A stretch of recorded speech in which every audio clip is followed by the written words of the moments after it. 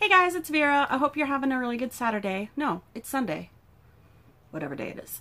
Um, I wanted to talk to you guys today about how I learned to start riding. I don't think I've ever actually done a video about this, so I thought it would be kind of fun. I'm in my trailer um, up north, um, northern Arizona, and, you know, I get to like, you know, listen to some trees and some wind and look at some green stuff, so it always makes me feel better um, when that when that happens. Anyways, um, how I started riding. Um, I rode on the back with my husband when I was married for about eight years. And towards the end of our marriage, um, he had a Sportster 1200 that was going to be kind of like hand-me-down, which I don't know why women always get the hand-me-down bike, but whatever. Um, it was going to be hand-me-down to me, and then I was going to learn to ride eventually. Well, instead he traded it in for a Street Glide, and that was kind of like, you know, um, part of our issues. Anyways, so I, um, when I went through my divorce, I decided I still want to ride. I still want to learn how to ride, but I'm all by myself. So uh, about a year after our divorce, I or our separation, I um, I had fallen in love with the Sportster Iron 883. It had only been out for two years, so there weren't any used ones to buy. And I just fell in love with the matte black. I hadn't seen a lot of bikes with a black motor before you know, as much black on there as they could get, um, they put on those. And I know a lot of folks say, uh, a Sportster is not a good starter bike because it's top heavy. And I can attest to that. Um, but I kind of feel like if you can ride that, you can ride anything because, you know, everything else can have a lower center of gravity. I think it was a good starter for me. So I went down to the dealership. I tried to buy it. Every time I tried to buy one, they would sell it before, like, you know, before I could get down there. I mean, they were selling the black ones, especially the irons in 2010, were selling like before they were coming off the trucks. Um, and I didn't want this the matte silver. So finally, I got one. I bought it uh, February 1st, 2010, and I couldn't ride it yet. So I literally had to have them deliver my bike, which I know some of you may have had that too.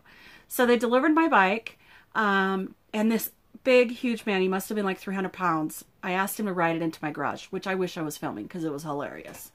Um, and so, so he rode it into my garage, and I just kind of stared at it for a while. A couple weeks later, I took my class. Many of you have taken them. I don't think mine was through Team Arizona. I can't really remember. Um, but I took my class. Oh, I don't like that angle. Hello. Is there anything in my nose? Am I good? Okay. Um, I took my class. I'm a weirdo. Uh, I took my class came home and I tried to practice on my bike. I immediately, you know, I, I got it out of the garage. I got it down my very steep driveway, rode around the block, brought it home, dumped it. It was one of those too much front brake situations. Luckily, I was okay and the bike was okay. My neighbor has to run out and, and he helps me lift it because I hadn't learned to lift a bike either. She probably should learn that.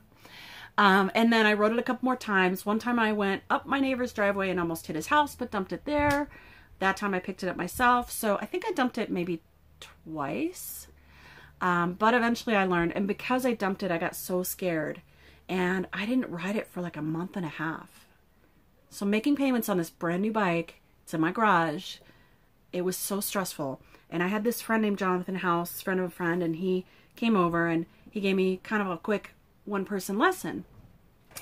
and he said, what are you afraid of? And I said, my driveway, it's really long and steep. And he said, okay, we're going to do that 20 times. And I went, okay.